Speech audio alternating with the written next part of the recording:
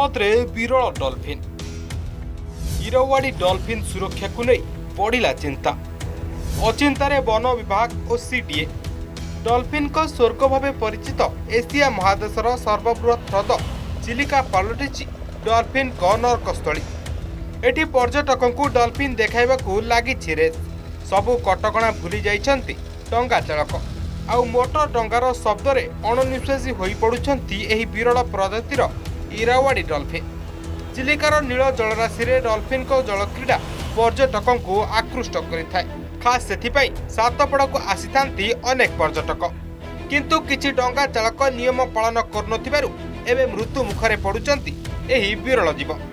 ଚାରି ବର୍ଷ ଧରି ଯେ ଚିଲିକାରେ ଶିଶୁ ଡଲଫିନ୍ ଦେଖାଯାଉନାହିଁ ଯଦି ମା ଏବଂ ପୁରୁଷ ଡଲଫିନ୍ ମିଳାମିଶା ନ ହୋଇପାରିବେ ଏକାନ୍ତରେ ରହି ନପାରିବେ ଖେଳାବୁଲା ନ କରିପାରିବେ ତାହେଲେ ଶିଶୁ ଡଲଫିନ୍ ଆସିବ କିପରି?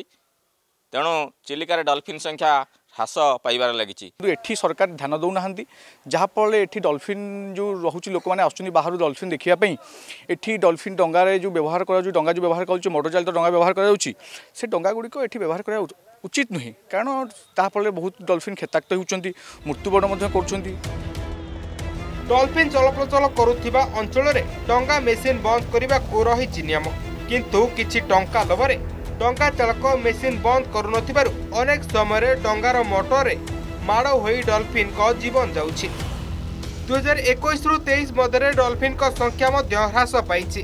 ତେବେ ବେଆଇନ ଡଙ୍ଗା ଚାଳକ ଏହାର ପ୍ରମୁଖ କାରଣ ବୋଲି ଅନୁମାନ କରାଯାଉଛି। ପ୍ରତିବର୍ଷ ଡଲଫିନ୍ଙ୍କ ମୃତ୍ୟୁହାର ବଢ଼ିବା ଘଟଣା ଏବେ ପରିବେଶବିତ୍କୁ ବ୍ୟଥିତ କରିଛି।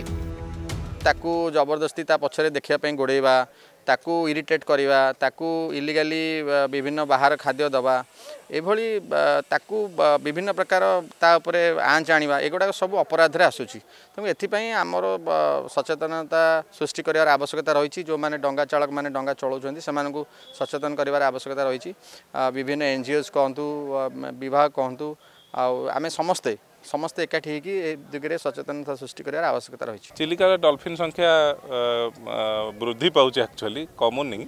ତେଣୁ ଗୋଟେ ଗୋଟେ ସେମିତିଆ ଆକ୍ସିଡେଣ୍ଟସ୍ ରହୁଛି ଯେଉଁଥିରେ କି ନ୍ୟାଚୁରାଲ୍ ଡେଥ୍ ମଧ୍ୟ ହେଉଛି ଡଲଫିନ୍ ମାନଙ୍କର ତାର ବିଧିବଦ୍ଧ ଭାବରେ ଯେମିତି ତାର ପୋଷ୍ଟମର୍ଟମ୍ ହେବା କଥା କରିକି ଆମେ ରିପୋର୍ଟ କରିବା କଥା ଆମେ କରୁଛୁ।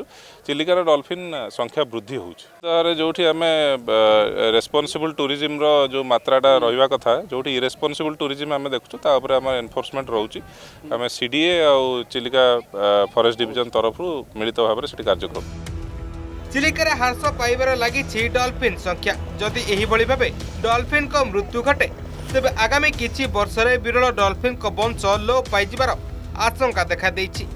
କେବେ ଚେତିବେ ରାଜ୍ୟ ସରକାର କେବେ ଡଲଫିନ୍ଙ୍କ ସୁରକ୍ଷା ପାଇଁ ତତ୍ପରତା ପ୍ରକାଶ କରିବ ବିଭାଗ। ନା ସବୁ ଦେଖି ଚୁପ୍ ରହିବ ସିଡିଏ ଏବଂ ବନ ବିଭାଗ। ପୁରୀରୁ କାଳିଚରଣ ସାହୁଙ୍କ ରିପୋର୍ଟ ଅର୍ଗସ୍ ନ୍ୟୁଜ୍।